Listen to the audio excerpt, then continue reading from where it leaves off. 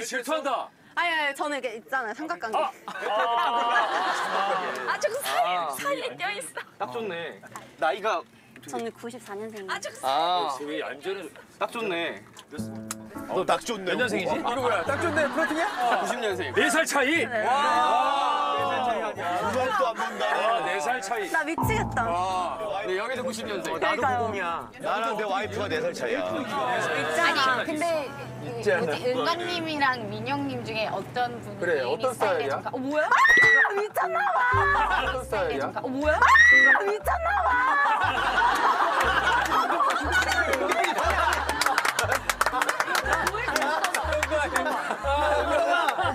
자랑하러 달라고 했더니 어떡해. 왜? 와, 야. 너 아, 어, 어떡해. 빨개졌어, 어, 얼굴. 나 진짜 어떡해.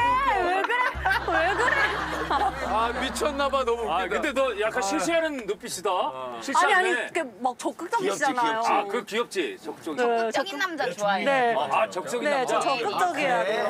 네. 아, 적극적인 네, 남자. 저 적극적이야 돼요. 오. 아, 근데 저, 진짜 어, 미안한데 어. 왜 저울질 하시는 거예요 벌써? 좋다, 여기.